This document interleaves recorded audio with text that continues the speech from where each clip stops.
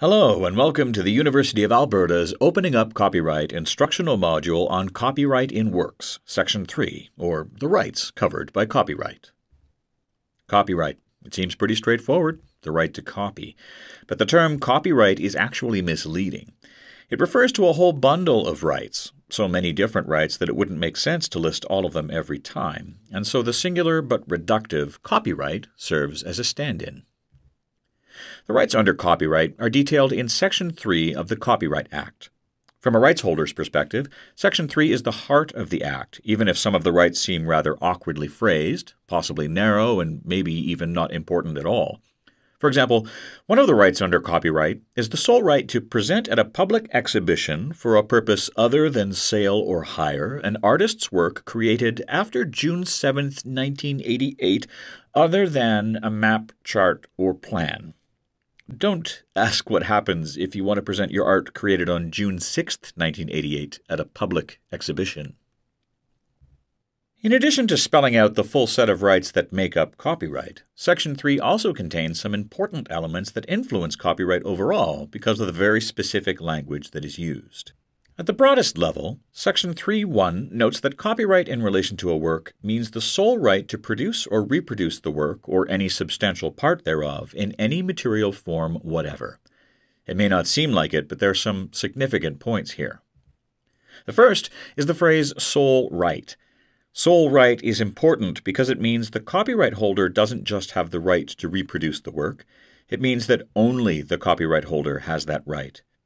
While there are exceptions to copyright infringement, copyrights are exclusive, or perhaps more accurately, exclusionary rights. Another crucial term is substantial.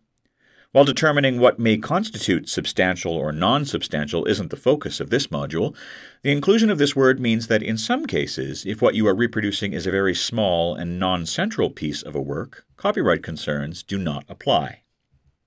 A third key concept is in any material form. This is an important phrase because it notes that reproduction of copyright protected material is not tied to a specific media or format, including the format it was originally produced in. In other words, if an essay first appears as a blog post, the copyright holder has the sole right to reproduce it not only as a blog post, but also as part of a book, or periodical, or even, if they want to, on stone tablets. Section 3.1 also includes a list of other sole rights of the copyright holder. The first of these, 3.1a, is the right to produce, reproduce, perform, or publish any translation of the work.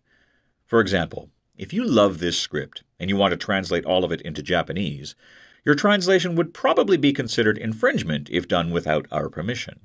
Of course, since we've applied a Creative Commons license to this script, you actually have our permission, subject to the terms of that license. Section 3 also includes a number of rights involving changing a work betwixt various types of works. It's important to note that changing a work among types of works will generate new copyright protected works. For example, if you write a novel, you have the sole right to convert that novel into a dramatic work, like a play.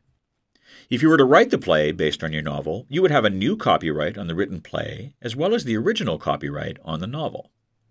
If someone else wanted to take your play and perform it, or turn it into a movie, they would need your permission as the copyright holder, and any recordings of that play or the movie itself would result in new copyrights. These same rights also work going in the opposite direction. For example, if you write a play and adapt it into a novel. There are also similar provisions regarding adaptations among literary, dramatic, and musical works, as well as sound recordings and films, or more accurately, cinematographic works. Subsection 3.1f details another important sole right of the copyright owner the right to communicate a work to the public by telecommunication. So, what exactly does this mean? In simpler terms, this right covers the distribution of works over the Internet and other forms of telecommunication. However, this right doesn't cover every means of telecommunicating a work.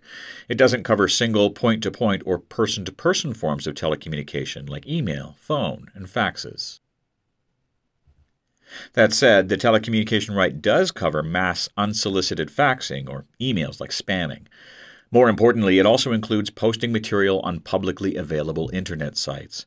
Furthermore, a communication is still considered to the public, regardless of whether the material can be downloaded or is streamed. Court and Copyright Board decisions have clarified that in cases where the telecommunication right is infringed on the Internet, it is not the Internet service provider that is responsible, but the uploader. Subsection 31J includes another awkwardly worded but important sole right. The subsection notes that in the case of a work that is in the form of a tangible object, to sell or otherwise transfer ownership of the tangible object, as long as that ownership has never previously been transferred in or outside Canada with the authorization of the copyright owner. In regard to the tangible object piece, this is a way of talking about a book, a vinyl record, a CD, or a DVD, but not just the digital file. Essentially, it's referring to the container of an intellectual good. So, as a rights holder, if you have your intellectual work embodied in a physical object, like a book or a CD, you can control the right to sell that object. However, this right is not absolute. Your ability to limit the sale of the tangible object applies only to the first sale. Looking at it from the user's perspective, if you buy a book or a CD, you have control over the physical object, but the rights holder still controls the copyright in the intellectual work contained by the object. In other words, if you buy a book or a CD, you can do whatever you want with the physical object. You can enjoy it, you can use it as a coaster, you can even burn it in your fireplace if you want to, but you don't have the same rights to the underlying intellectual work as the rights holder does. You can't make copies, translate the work, or telecommunicate it to the public unless you're relying on an exception to infringement like fair dealing. Section 31J gets at what is called the exhaustion doctrine in Canadian copyright, but you might know it by the similar U.S. concept the first sale doctrine. Finally, immediately after subsection J, which covers the last of the ten rights in copyright, there is one more key element to the section. This notes that in addition to these ten rights, the rights holder has the sole right to authorize such acts. As noted earlier, the rights in copyright are exclusionary rights, but as the rights holder, you have the ability to separately authorize to groups or other individuals various rights or uses of your work. For example, if you write a novel, you might authorize one person to produce and distribute copies of it, another to create a translation of it, and authorize a third, different set of individuals to disseminate the work over the Internet. Thus, Section 3 of the Copyright Act structures copyright as a bundle of exclusionary rights for the rights holder in a work, who not only has the sole right to make certain uses of the work, but who can also authorize others in relation to those uses of the work. You should now be able to understand copyright as a bundle of rights rather than just the right to copy.